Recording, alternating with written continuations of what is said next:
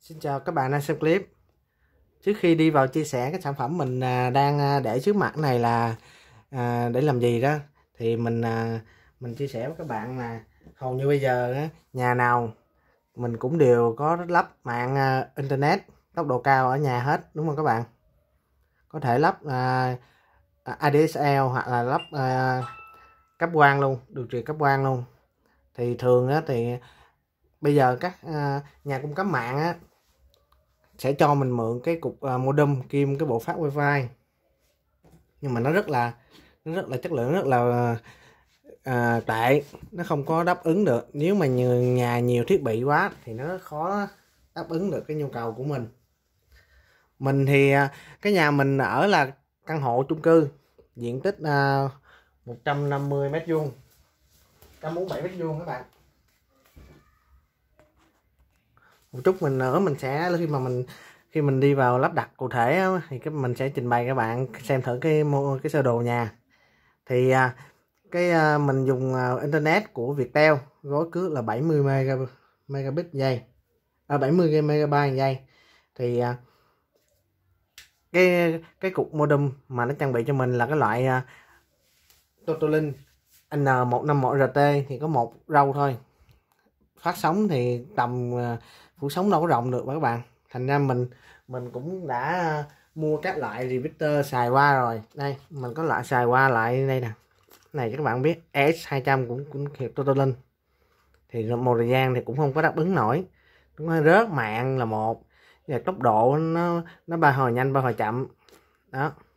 Rồi sau đó mình cũng có mua thêm một cái à, bộ của à, cũng hiệu Totolink tại vì mình muốn cho nó đồng bộ đó mà và tôi lên hàng Việt Nam. Chế độ hành nó nghe nó là tốt, nhưng mình cũng đầu tư mua thêm một cái là của N600 ờ, bốn râu nhìn ngầu vậy chứ. Thật ra phát cũng ờ, cũng chất lượng cũng ờ, không có vừa ý. Mặc dù nó có cái chế độ turbo đó, mặc dù mặc dù cái này nó có chế độ turbo luôn. À nhưng mà mình xài mình cũng không thích lắm, không có vừa ý lắm.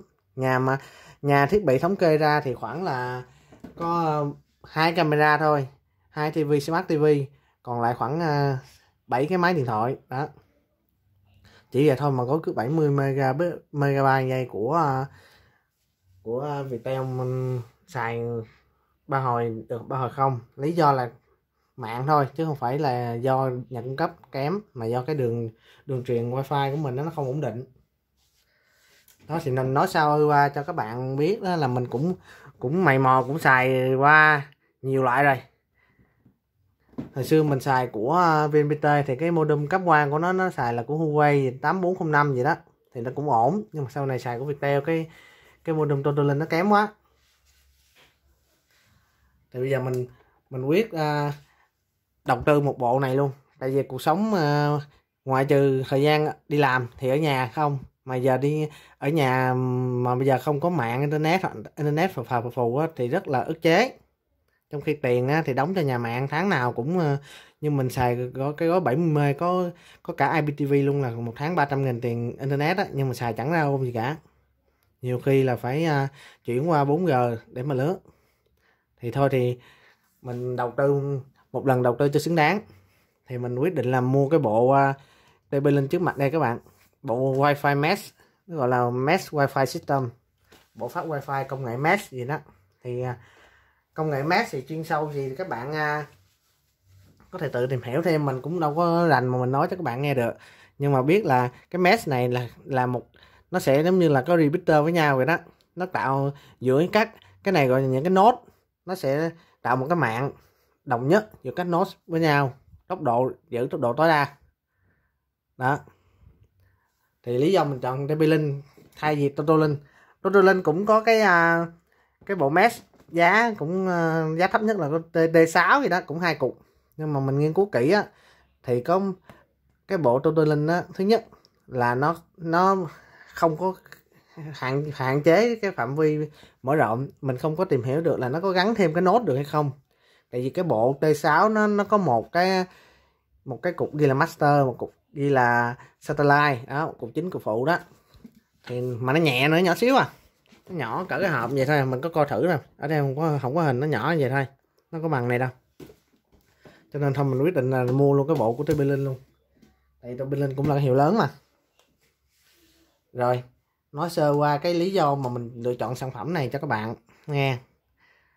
À ở đây thì à, cái hệ mesh của TP Linh nó nó nhiều cục nhìn giống giống nhau lắm. Có cục à, nó nhỏ xíu dẹp hình tròn nắp vậy nè. Còn cục này đứng trụ đứng hình trụ đứng là cục này. Thì cục này nó có hai dòng. Dòng à, hình như là hai dòng đó là dòng E và dòng M. Anh em mình dòng E4 nè. Nó có dòng M4 nữa. Thì nó khác nhau ở cái chỗ á, là cái dòng M4 trên cái thân của cái à, ma cục phát nó sẽ có cái cổng lan. Cổng này cổng lan ha. Cổng lan thì tốc độ kia là tốc độ gigabit. Còn cái bộ E4 này thì tốc độ tốc độ à, uh, 100 megabit thôi. Megabit megabyte vậy đó mình có thể mình nói đôi khi lẫn lộn xíu các bạn à, à thông cảm nha. Hình như là megabit đó chính xác là megabit. Đó thì mình mình lựa cái loại E4 nó rẻ hơn à, khoảng à, 500 nghìn. Nó rẻ hơn 500 nghìn đối với một bộ.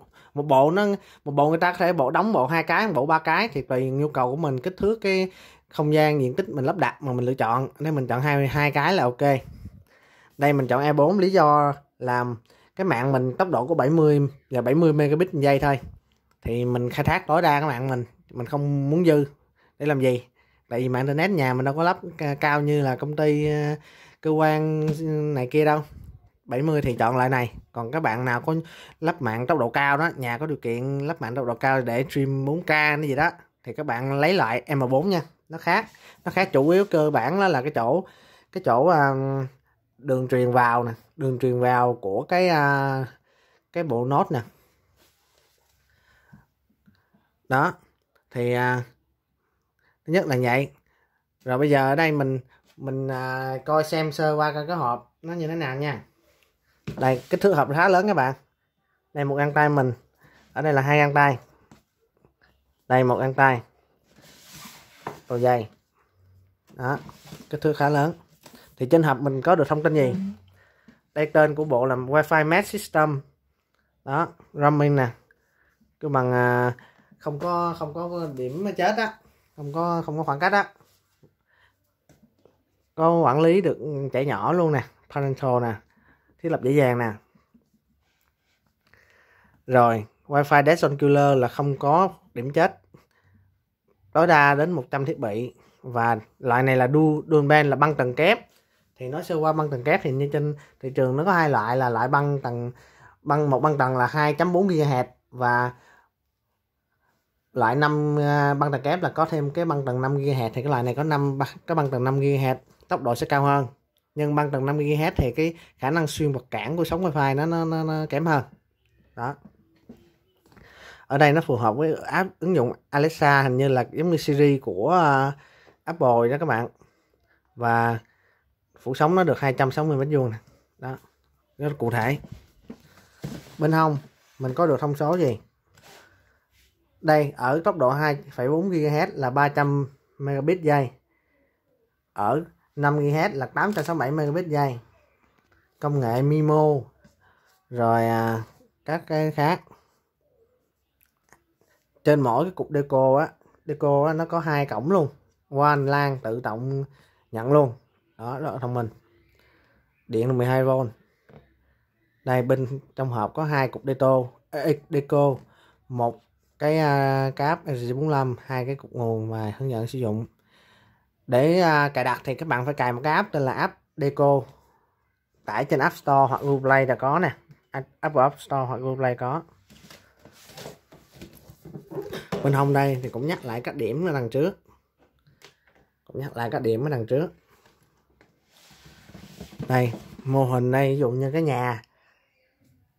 Cái để trên lầu, cái để dưới lầu. Đó. Hai cái giao tiếp với nhau bằng hai lại sống luôn. Đặc biệt của cái này là không có phân biệt cái chính, cái phụ nha các bạn. Hai cái như là một, hai cái là độc lập với nhau cũng được. Đó. Cho nên câu này mới là giá trị nè. Các bạn nên mua cái loại này nếu mà mình xác định đầu tư một số tiền lớn á. Cũng triệu mấy hai triệu đó. Số tiền cũng tương đối á thì à, mình mua cái loại nào mình có thể mở rộng được thì ở đây nó mạnh nó đáng tiền câu nào.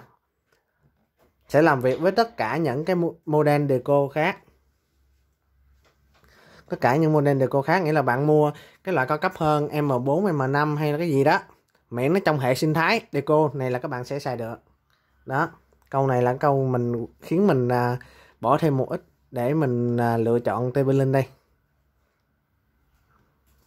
rồi bây giờ mình mình sẽ cùng à, mở hộp sản phẩm này ra nha các bạn.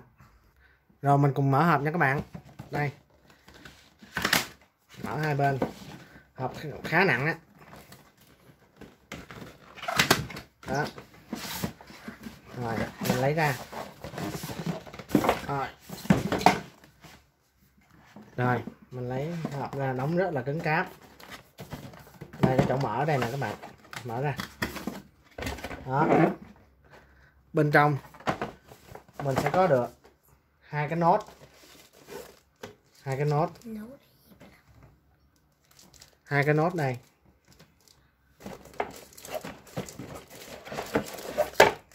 Hai cái nốt. Hai cái bộ là hộp nguồn, dây nguồn. Một sáng dẫn một cáp LG 45 đó.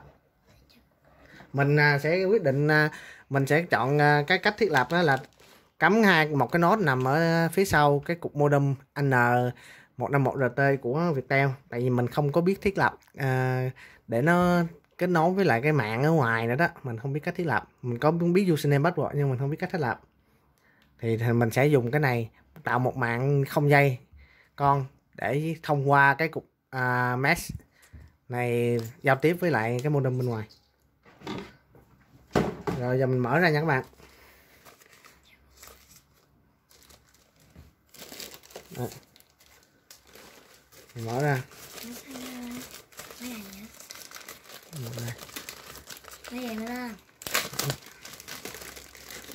Rồi. Đây.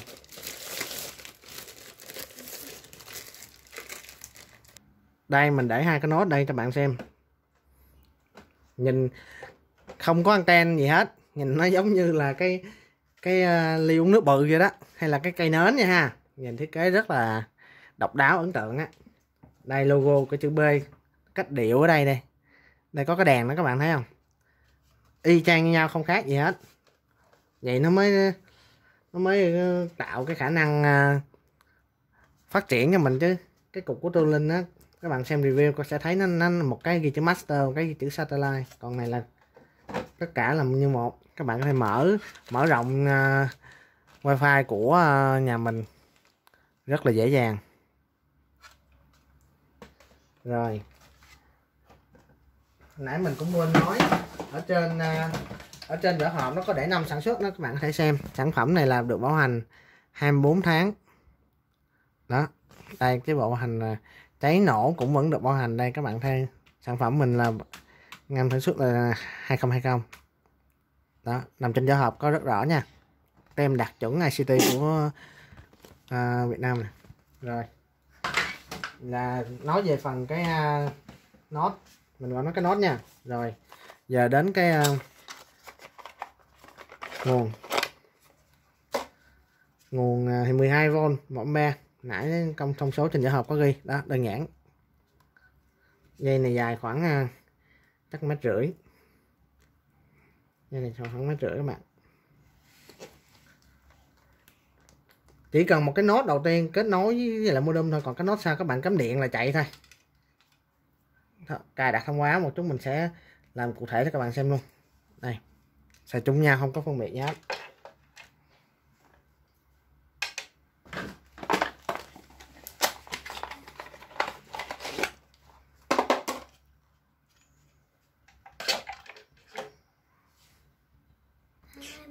Rồi bây giờ mình à, cài đặt mình sẽ vô cửa hàng à, mình dùng máy Android đó. Thì mình sẽ dùng vô à, cửa hàng Play.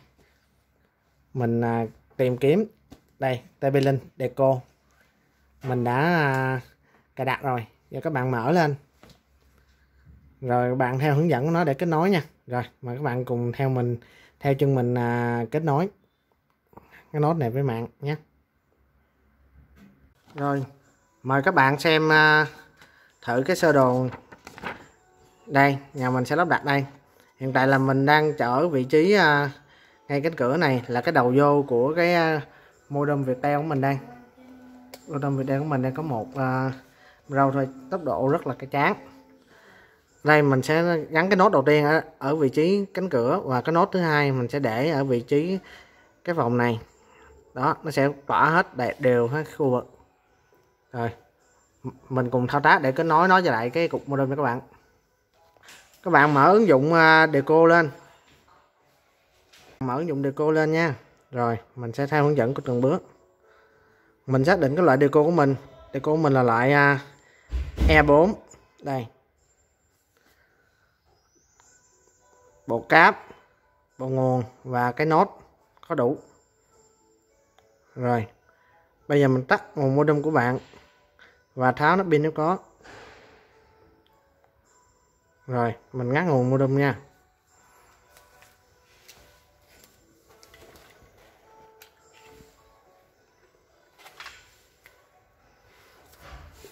Tiếp theo.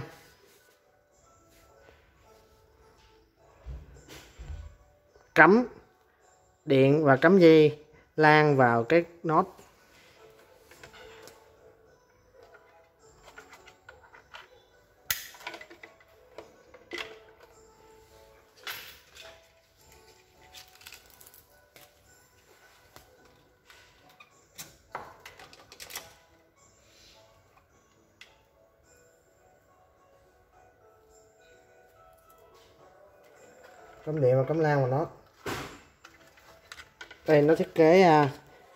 này có lỗ đi dây đây các bạn. Này đó, bạn gài vô.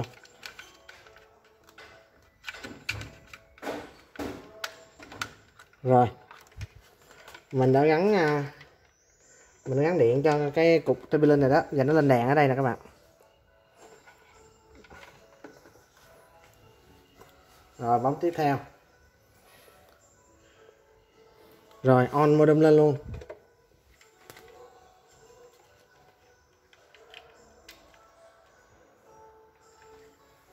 On modem lên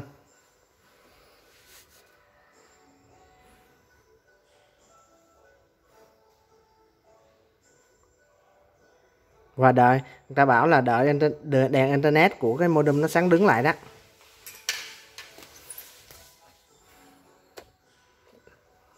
Là các bạn. Rồi, các bạn đợi xíu nha. Rồi, hiện thời là đèn internet đã sáng đứng rồi đó. Mình bấm kết nối tiếp mở nguồn deco và đợi đến khi đèn chớp xanh dương. À. đây, đèn chớp xanh dương rồi nha các bạn. Đang chớp xanh. Mình sẽ chọn tiếp. Rồi, kích hoạt vị trí nữa. Nó đòi khởi cấp quyền vị trí cho cái à, app. Đây mình đã mở sẵn bluetooth rồi rồi mình mở thêm vị trí nữa.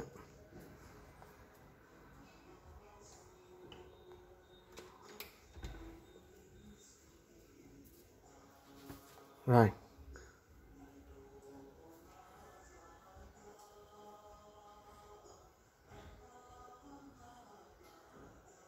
Đang đợi để à, cái app Deco kết nối với cái nốt.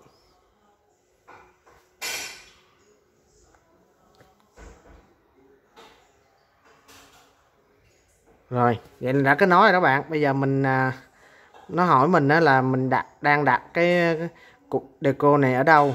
Mình à, để là phòng khách. Phòng khách.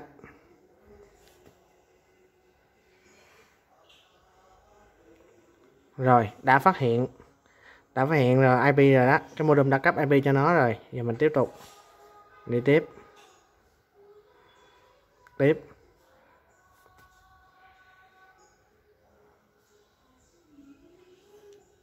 Rồi bây giờ nó kêu mình tạo mạng wifi của à, cho cục cái deco này mình sẽ tạo. Rồi sau khi tạo cái à, cái tên mạng và password thì mình bấm tiếp nha các bạn.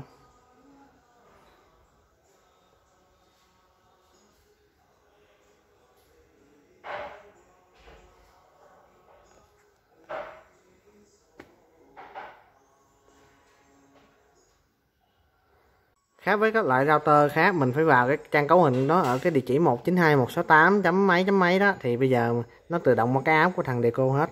Rất là tiện.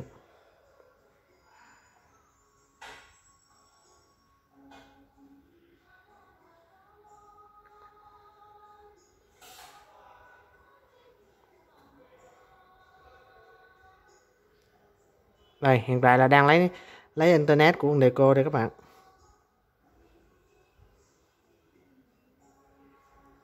Rồi mạng Deco của bạn đã hoạt động rồi đó. Bây giờ nó hỏi mình là hoàn tất hay là mình thêm một Deco khác? Thì giờ mình sẽ đi vào phòng mình thêm một Deco khác cho các bạn xem nha.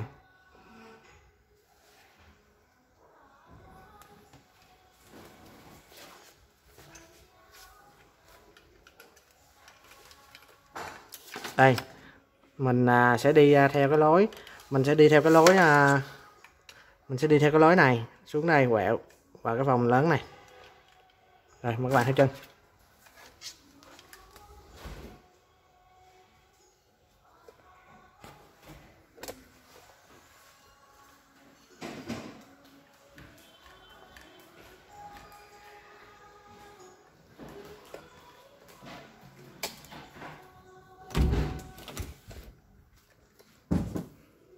Đây, vị trí mình sẽ lắp lắp cái à, deco đây, ở cái phòng ngủ.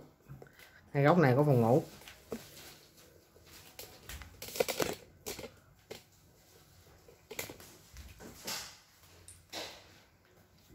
Ở cái bước à, ép cái đề cô tiếp theo nó cũng hỏi mình cái đề cô cái loại đề cô cái cục nốt mình gắn là cái gì. Đó cho nên cái cái khả năng phát triển nó rất là tốt mở rộng rất tốt. Bạn có mua tiền bạn đầu tư bạn có nhu cầu bạn mua thêm thì bạn cứ ép vào thêm thôi. Đây cái cục mình vẫn là cục A4 E4 đây. Tìm vị trí nhà thích hợp. Mình sẽ đặt chung một tầng luôn. Đó. Bằng đặt tầng trên đặt tầng trên. Đây, nó tư vấn cho mình đây, mình đặt khác phòng. Ok. Tiếp tục. Mở nguồn và đợi đến khi đèn led chớp xanh dương. Rồi, bây giờ mình sẽ gắn cái cục deco kia nha các bạn.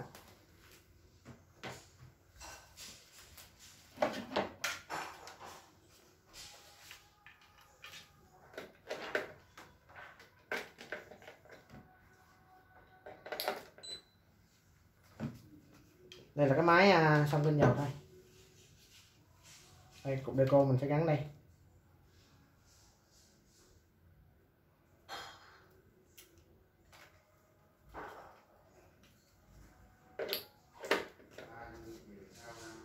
mình sẽ gắn cục deco ngay tại giữa trên cái đồ lạnh này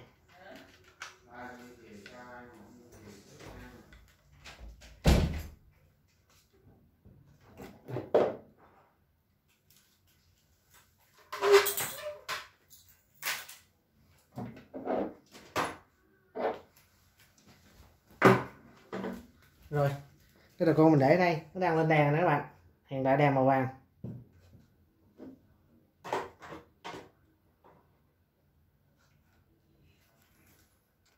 Sau khi một hồi thì nó đã chớp xanh này, nó đã báo nhận này nè các bạn. Rồi.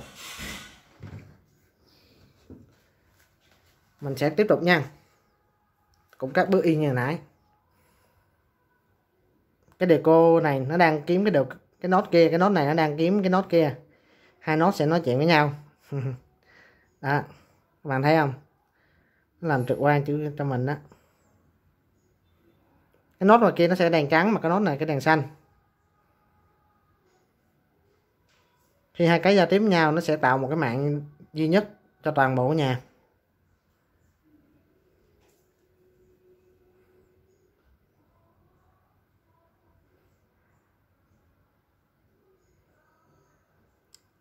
Kiên nhẫn đợi nha các bạn. Rồi, đã xong. Đây, cô này mình để ở à, phòng ngủ lớn. Đây. Nó sẽ tối u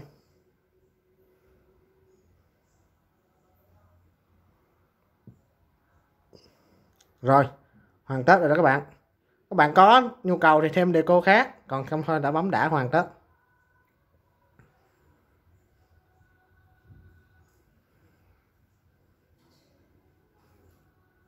Đó ở đây có một số uh, cái ứng ứng dụng uh, trong cài đặt. Thì mình uh, các bạn tự tìm hiểu thêm. Còn đây một số thiết bị ra kết nối này nè. Rồi mình muốn uh, can thiệp sao đó thì mình vô mình biết. Thứ nhất là mình quản lý được số thiết bị kết nối vô cục mình. Mình uh, coi coi lỡ mà có bị ai uh, hack hay là ừ, vô không á mình biết được. Đó rất trực quan. Và nó còn update uh, cho deco mình nữa. Rồi video của mình đến đây là kết thúc. Xin cảm ơn các bạn đã bỏ thời gian là theo dõi. À, nếu thấy hay các bạn nhớ bấm like và, và subscribe nhé. Rồi hẹn gặp lại các bạn những video tiếp theo.